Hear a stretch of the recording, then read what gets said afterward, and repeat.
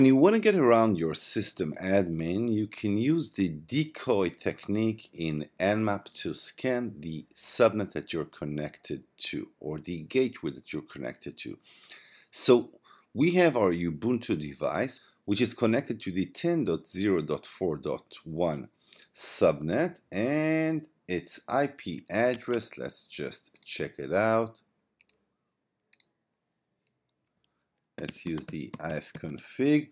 The IP address of our Ubuntu device is the 10.0.4.8.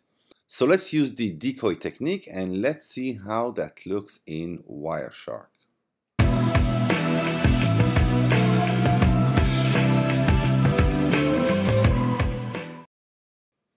Alright, so the first thing to do is to open Wireshark. Let's capture traffic. And now let's move back to our Ubuntu device. Alright, and for that we will need root privileges, so we'll use the sudo. Um, let's use the let's use the uh, full SYN scan, that which is SS, and the target is our gateway, which is the 10.0.4.1. I remind you that's the gateway that our Ubuntu device is connected to. And the other thing to do is to use the decoy technique with the hyphen uppercase D. And let's presume that we are coming from the 10.0.7.33. All right. Now we get our results. We can see that we have um, HTTPS open. Now let's look at Wireshark. Let's close our capture and let's use the IP ADDR equal equal 10.0.7. Let me just take a look. Dot 33.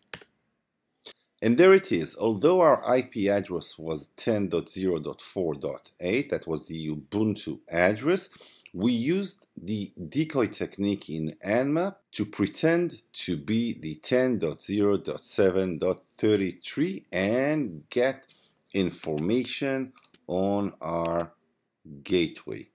Now let's use the same one to get information on our WAN interface and now let's use the 32. Let's just open Wireshark again.